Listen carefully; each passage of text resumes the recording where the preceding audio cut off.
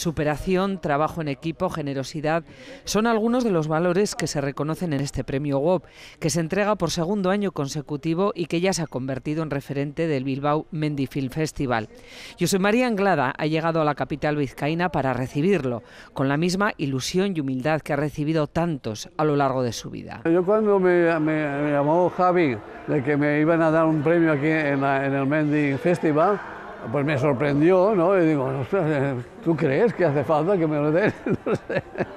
Hoy ha revivido momentos importantes de su vida. Hace ya 60 años que comenzó a escalar montañas. La gente escalaba en Montserrat con alpargatas y cuerdas de, de cáñamo.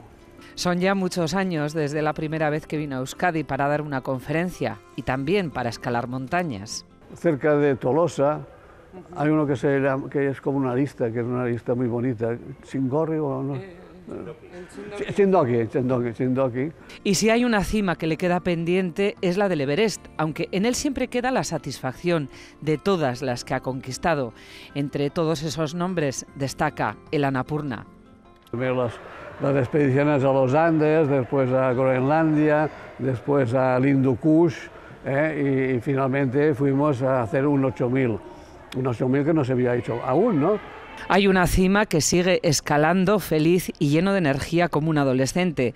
La relación que comparte en la montaña y en el día a día con su mujer, Elizabeth Berges, pionera del alpinismo femenino. Pues a mí me ha tocado la lotería.